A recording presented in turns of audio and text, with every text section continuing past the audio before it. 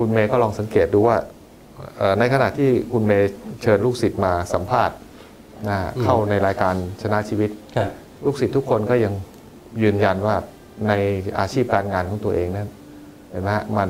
รุ่งเรืองอืมแล้วถ้าเป็นเจ้าของกิจการก็จะบอกทำไม่ทัน ถูกต้อง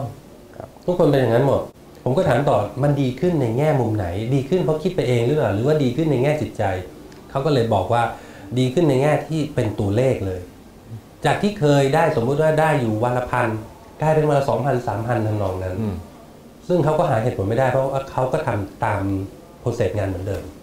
นะฮะใครอยากจะเรียนรู้ตรงนี้ผมแนะนำว่าไปนั่งฟังการบรรยายฮวงจุ้ยของอาจารย์ก่อนนะฮะอาจารย์ไม่เคยเก็บค่าใช้จ่ายใดๆทั้งสิ้น และที่สำคัญก็คือว่างานนี้ทำฟรีนะครับเพื่อที่เป้าหมายก็คืออยากให้คนแข็งแกร่งครับ เมื่อคุณแข็งแกร่งประชาชนแข็งแกร่งประเทศชาติจะแข็งแกร่งตาม นะฮะนี่คือเป้าหมายหลักของอาจารย์ อย่างน้อยคนที่ทำอืมก็จะไม่ถูกลุกรานอืมอ่าจะไม่ตกไปเป็นเหยื่ออืมครับ อาอยู่ได้ด้วยตัวตัวของตัวเอง มีอย่างหนึ่งที่อาจารย์ไม่รับประกันก็คือเมื่อรวยแล้ว จะไม่โกง อืมอันนี้มันอยู่ที่ตัวคนใช่ไหมฮะ ไม่ถ้าถ้าทำฮวงจุ้ยอืม รวยแล้วไม่โกงจริงเหรอแต่ฮะถ้าจริงครับ แต่ถ้าเกิดไม่ทำนะหรือทำไม่ถูกเนี่ยยังไงยังไงนิสัยมันจะโกงก็คือโกง อืม